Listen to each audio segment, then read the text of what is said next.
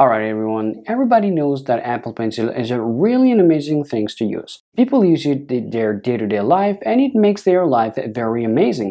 Well, the thing is there are a number of people are also complaining that their Apple Pencil is not working with their iPad at all. So if you're having the same problem where you can see your Apple Pencil is completely unresponsive and you cannot use it for long, then don't worry because in this video we're going to be showing you how you can fix this problem just by yourself. Now let's go ahead and check this process to fix this problem. Alright guys, now to fix your Apple Pencil and if you see it is not working with your iPad, the first things we're going to tell you to do to check whether your iPad has the Bluetooth turned on or not.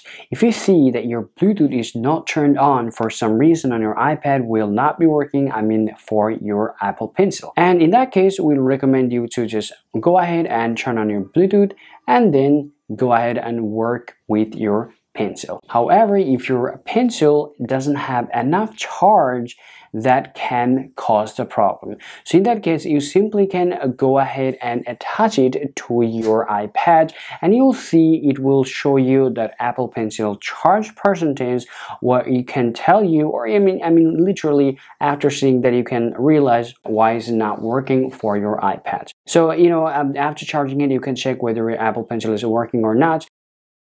Alright, after that, what you can do, you can check your charge. If you see it is it doesn't have a lot of charge, you can leave your pencil with your iPad around 10 to 15 minutes and afterward when you see it has enough charge, then you can start using your iPad with your pencil. Well, even after that, if you're having problem, then go ahead and follow our next process. And the final process we're going to talk about, which is very important because most of people, they don't really realize about their Apple Pencil tip. You know, for some reason, if you see that your Apple Pencil tip it is loose for some reason, then it will not be working with your iPad. That can be a very, very problematic matter for you. So now go ahead and just simply tie your tip and then go ahead and check whether it's working or not. But even after that, if you see your pencil it's not working, it can have some physical damage. I mean, it can have some hardware related problem. In that case, you need to contact with the Apple Care. All right, so even after that, if you see it's working, then we gotta say congratulations to you. Your pencil will be ready to use after that. All right, guys, that's it about now. So now we're only gonna do, so as you guys know that we have been going through all of this procedure.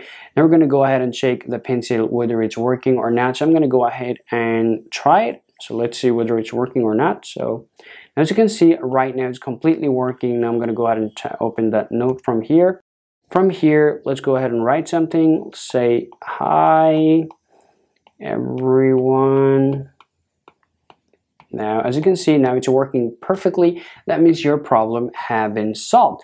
Alright guys, hopefully your video was informative and if you think so, you can ask us any question, any further question about your Apple Pencil and we'll be happy to give you that answer through the comments. Alright guys, that's it for now. Hopefully we will see you again in the next video.